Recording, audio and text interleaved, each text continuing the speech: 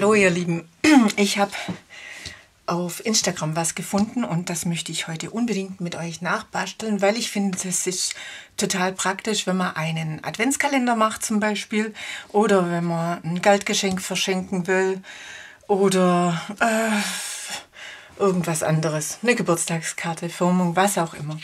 dazu braucht ihr ein A4-Papier und am besten macht ihr euch auf der Hälfte eine Markierung ich habe hier so Kraftpapier benutzt und dann klappt ja hier die, äh,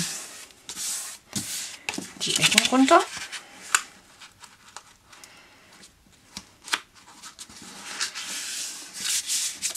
Dann klappt er diese Seite hier rüber. Und wundert euch nicht, das geht natürlich nicht ganz rum. So.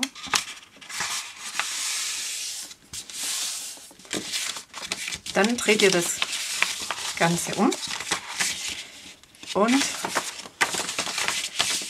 klappt das hier hoch.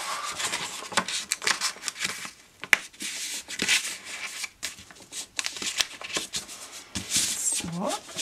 Und dann habt ihr hier einen Umschlag, wo ihr euren äh, Adventsgeschenk oder euren Geldumschlag, äh, euer Geld oder euren, eine Grußkarte reinsteckt. Dann wird es hier einfach nochmal umgeklappt.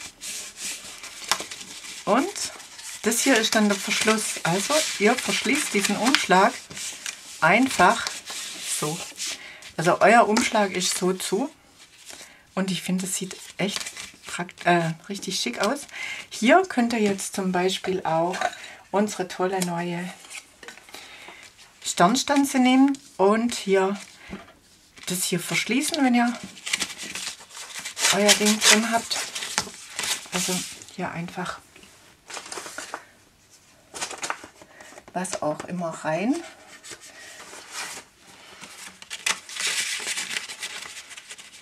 Als Beispiel. So, dann könnt ihr es hier verschließen.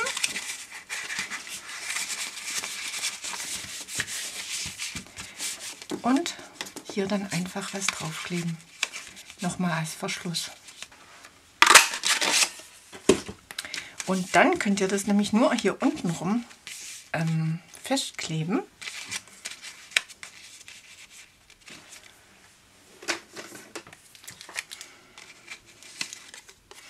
Einfach an den unteren Zacken. So. Und dann hält euch das nämlich auch so gut fest. Und ihr braucht nicht ganz zukleben, sondern durch das Stecken ist es ja richtig toll zugeschlossen. Und dann habt ihr hier nämlich den Umschlag, den fertigen. Und könnt es dann später trotzdem wieder aufmachen.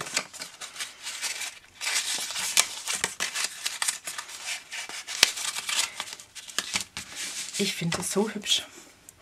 Und ist ganz schnell passiert.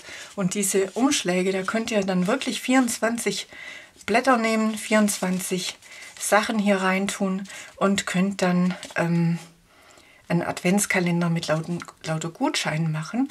Und ich zeige euch jetzt noch einen anderen Tipp. Und zwar messen wir uns das jetzt einfach aus. Das wäre jetzt zum Beispiel 13,5 mal 9 cm wäre jetzt eine gute Größe für diesen Gutschein, den wir hier reintun. Das tue ich jetzt mal zuschneiden mit dem Papierschneider.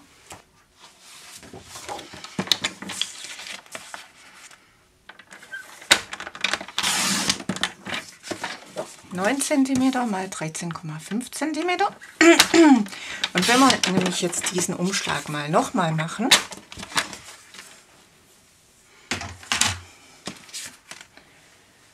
Also ich nehme mir wieder ein A4-Papier.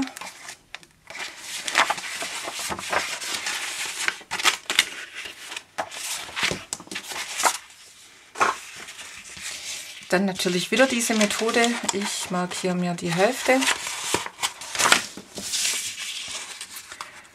Klappt es hier runter. Klappt es auf der anderen Seite runter. Und wenn das mal nicht so hundertprozentig passt, macht das überhaupt nichts aus, finde ich. Dann kommt die Seite wieder nach drüben.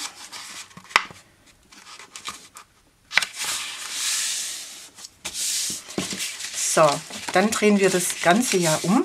Jetzt können wir nämlich unseren Gutschein nehmen als Hilfe und können jetzt so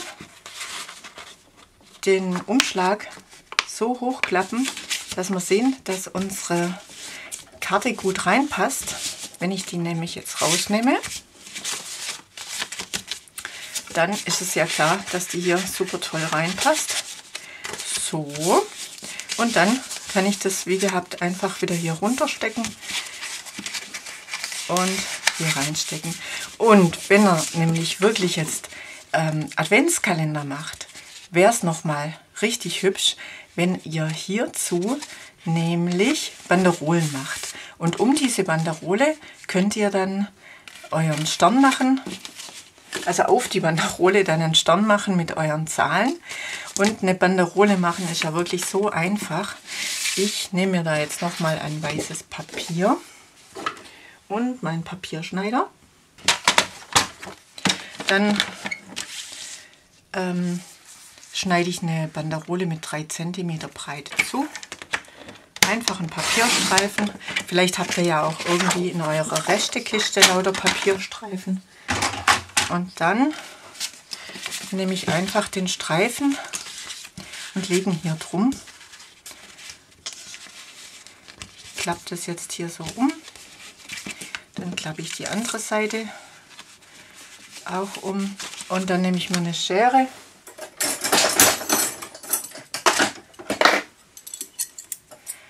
und schneide die Banderole hier einfach ab.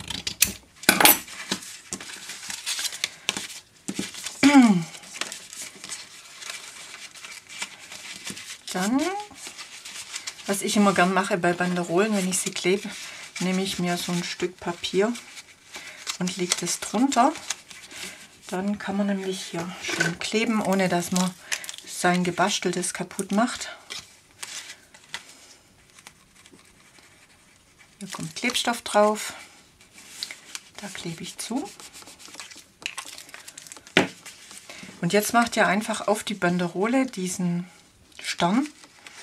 Könnt ihr natürlich auch golden nehmen oder vielleicht auch Kraftfarben, Kraftpapier, wie auch immer. Das kann man glaube ich schon, ach, das kann man auch lassen.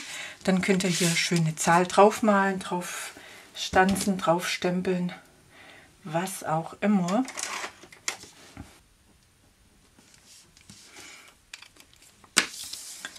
Und so könnt ihr dann für euren Adventskalender lauter kleine Gutscheine basteln. Und wenn ihr nämlich dann mal nicht so sauber gefaltet habt, so wie ich, dann schiebt ihr das einfach hier rüber. Dann sieht man das nämlich nicht und dann kommt hier die Zahl drauf. Und so könnt ihr jemand ganz leicht und einfach einen Adventskalender basteln, indem ihr wirklich nur so Kraftpapier nehmt. Und die gibt es ja wirklich in so einem Umschlag, äh, in so einem Block. Ganz einfach. Und habt hier eine tolle Methode, einen kleinen Adventskalender zu basteln. So, das war mal wieder ein ganz schnelles Video von mir. Ich hoffe, dass es euch gefallen hat. Wenn ja, dann lasst mir doch bitte einen Daumen hoch da und ähm, besucht mich bald wieder, denn ich habe mir ganz fest vorgenommen, jetzt wieder regelmäßig für euch zu basteln. Und vor allem, ich bin ja so jemand, wo bei mir muss es immer ganz schnell gehen.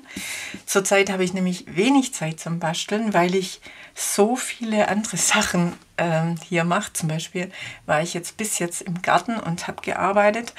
Und eigentlich müsste ich auch noch eine neue Tour mir überlegen und müsste auch noch ein paar neue Touren ähm, mehr machen. Also ich habe wirklich viele, achso, ich schwätze von meinen Touren. Ich habe natürlich auch Galgenwald Escape. Hier bei mir in Elwang könnt ihr Escape-Touren machen durch den Wald oder durch die Stadt oder ihr macht Escape-Spiele in einer Wirtschaft. Das geht auch, dass ihr euch meinen, meine Escape-Kiste Dachbodenfund ausleiht oder ihr bucht ein Escape-Spiel in einer Wirtschaft mit mir, wo ich als Moderatorin dabei bin. Das geht alles über meine Internetseite www.galgenwald-escape und ich würde mich natürlich riesig freuen, wenn ich mal jemand von euch treffen würde, bei mir hier im Galgenwald. Und wenn er mich von der Stempelstelle her kennt oder auch gern bastelt, dann sagt mir das doch bei der Ausgabe von Natur, wenn er auch meine Bastelvideos kennt. Ich würde mich riesig freuen. So, dann wünsche ich euch jetzt ganz viel Spaß und macht was draus. Tschüss, eure Brigitte.